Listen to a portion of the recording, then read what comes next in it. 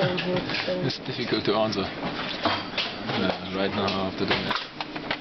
And uh, yeah, we wake up too late. Yeah. Only one half is not enough for the MLS, and we have to play 90 minutes, not 45.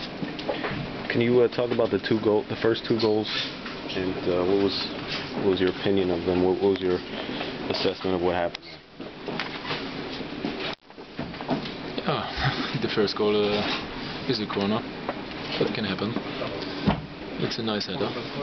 It's uh, directing the, the triangle, so that can happen. Yeah, but the second goal, we want to play only the difficult way. The easy way is play the ball back to the goalie, and he can kick the ball long. That's it. Was it And we take it to, we make it too complicated, Mhm. especially in the first half. We didn't play easy football, the, the easy way. We choose the difficult way, and so Salt Lake was a better, better team in the first half.